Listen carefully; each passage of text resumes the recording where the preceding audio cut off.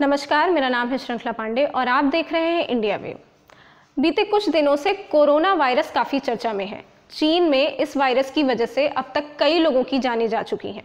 विश्व के 11 बाकी देशों में भी इसके मरीज़ हैं और धीरे धीरे ये वायरस भारत में भी अब तेज़ी से पैर पसार रहा है।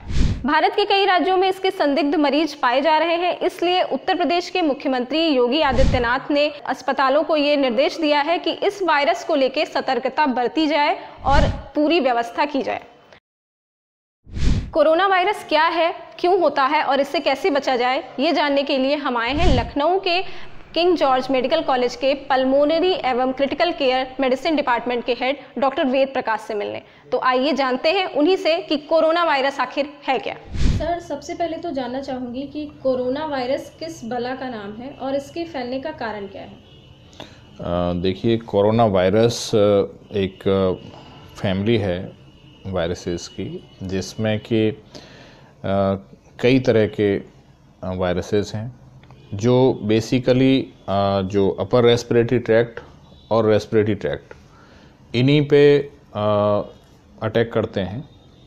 और कभी कभी जो सीवियर केसेस में, ये रेस्पिरेटरी के सीवियर या फिर थोड़ा बहुत एक सीएनएस जो सेंट्रल नर्वस सिस्टम है, उस पर भी इसका इफ़ेक्ट देखने को मिला है। जी। सर, इसके लक्षण क्या है? कैसे कोई पहचाने कि ये कोरोना वायरस है?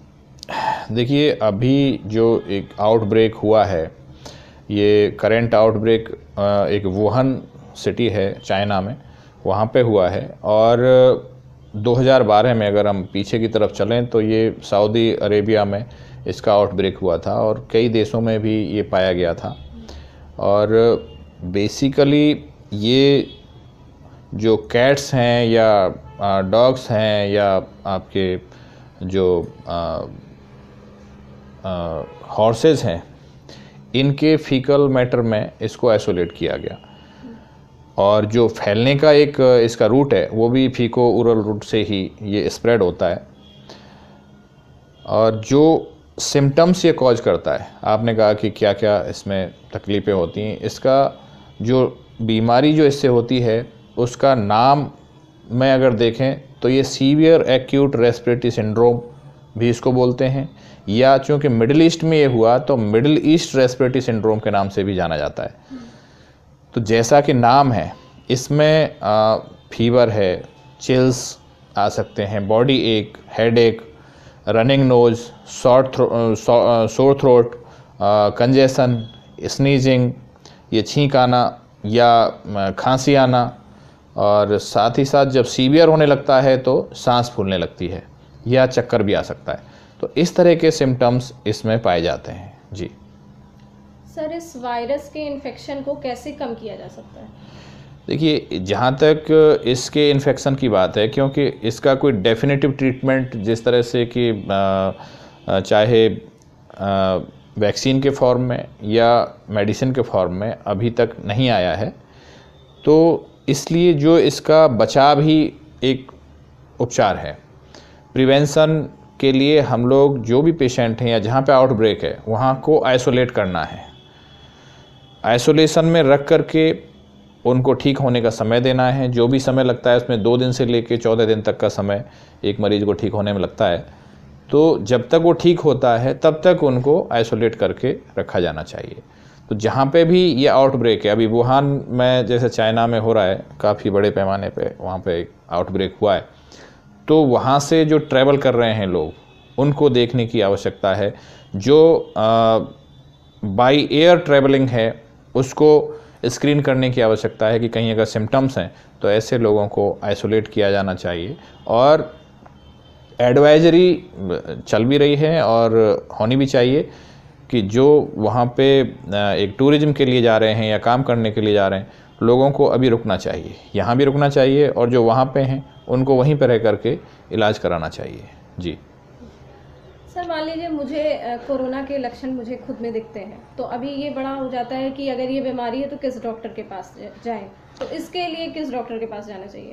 देखिए जो अगर एक्सपर्ट ग्रुप की बात करते हैं तो चूँकि रेस्पिरेटरी सिस्टम से जुड़ा हुआ मामला है तो पल्मोनरी के जो एक्सपर्ट्स हैं दे कैन हैंडल इट और बेसिकली चूँकि सीवियर केसेस जो होंगे, वो वेंटिलेटर पे भी जा सकते हैं या आईसीयू की केयर की ज़रूरत पड़ सकती है।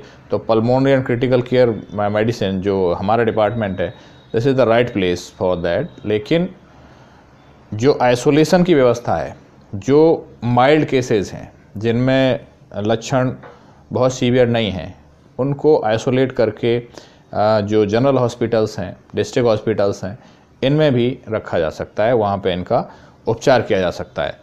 और एक जनरल मेजर्स जो उपचार के लिए लेने हैं, उसमें रेस्ट देना होता है। देखिए वायरल इलनेस सेल्फ लिमिटिंग होती हैं, ज़्यादातर अपने आप ही ठीक होने वाली होती हैं।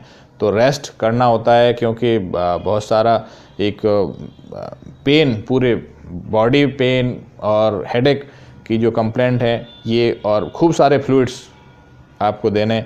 पीने की चीज़ें ज़्यादा से ज़्यादा लें फ्लूड्स प्लेंटी ऑफ़ फ्लूड्स लें रेस्ट लें।